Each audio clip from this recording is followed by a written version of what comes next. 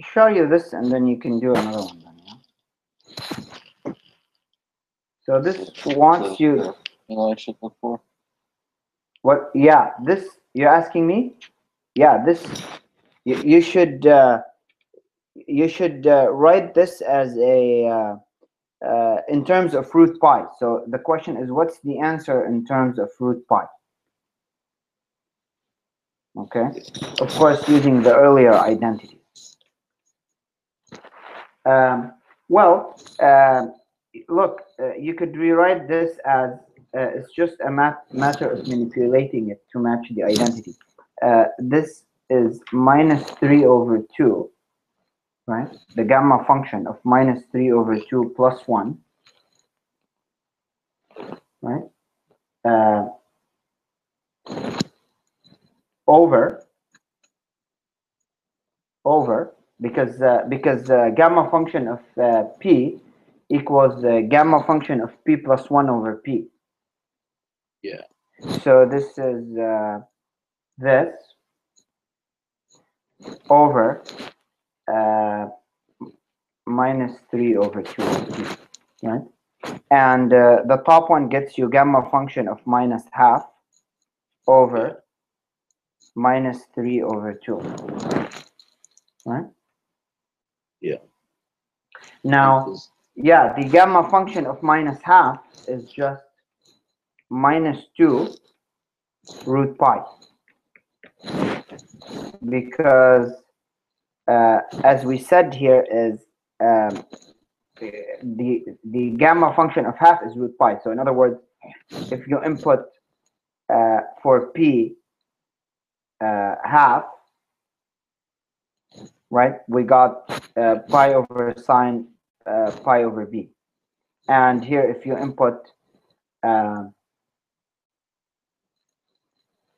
uh, what's it called? Uh, the uh, the minus half, what would you have to? So basically, p is minus half, right? and uh, you get uh, minus 2 root pi over uh, uh, wait actually let me let me do because i feel this minus half is not clear. Let me let me come back to this. So let me now go on the side and do anyways the question is asking before this to evaluate what's the gamma function of minus half. Well according to the rule, this is minus half plus 1, gamma function of minus half plus 1, right? Um, times over minus half. Right? That's minus half. That's using the earlier section, yeah? Yeah. Uh, that's using uh, gamma function of p is gamma function of p plus 1 over p.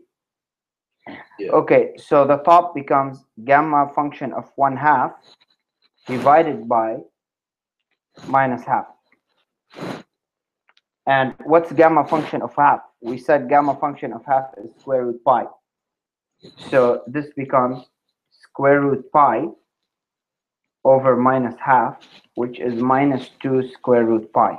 Now I can take this last result for the gamma function of minus half, and I can input it here.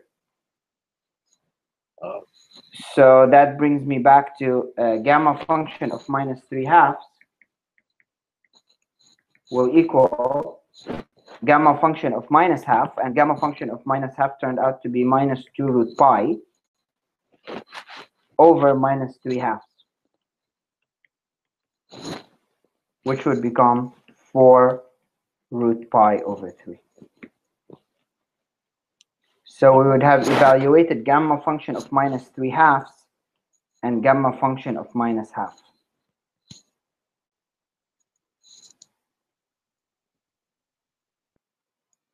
You see how to manipulate this to figure out uh, these gamma functions for non-integers.